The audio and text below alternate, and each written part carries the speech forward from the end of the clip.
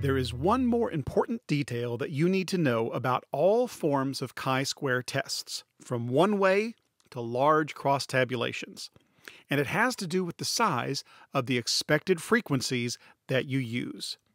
I want to warn you about the nuisance of small expected frequencies.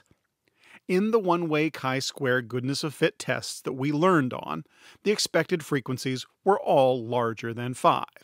But small values for expected frequencies in a cell will increase the chance of a type 1 error.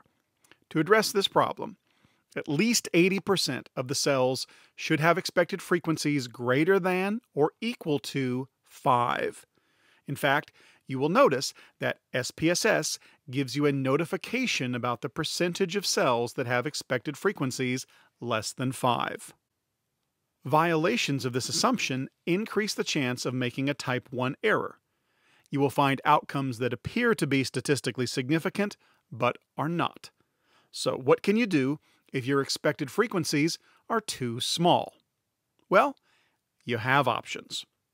When you have too small expected frequencies, the best option is to collect more data.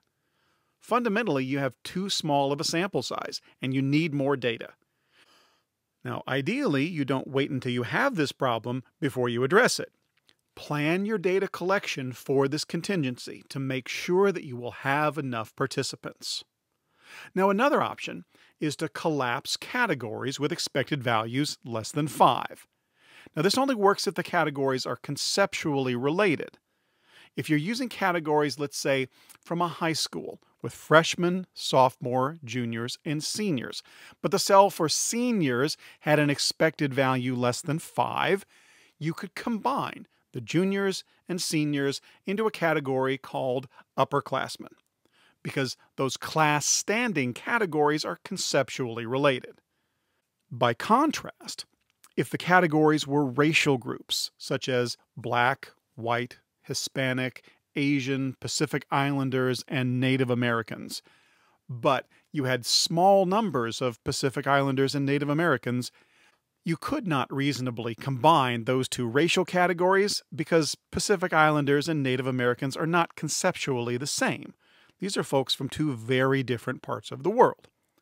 You could, however, combine to create categories such as white versus non white, because those do make sense conceptually.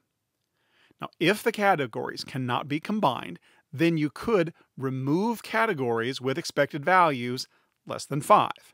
Now, this, of course, will reduce your sample size, which may reduce the power of your test. On the other hand, if the people in the categories were underrepresented and you had plenty of people in the remaining categories, then you probably have enough people anyway, so this might not be a problem. Finally, you can use something called Yates's correction for continuity.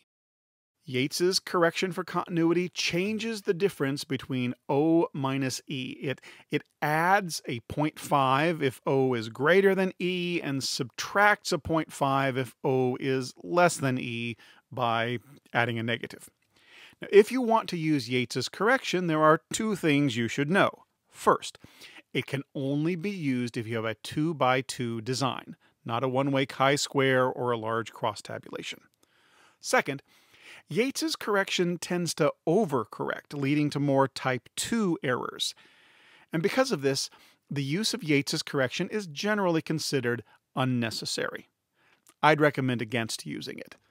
Now, on the other hand, I have seen researchers use it, so I wanted to let you know what it is and when its use would be appropriate.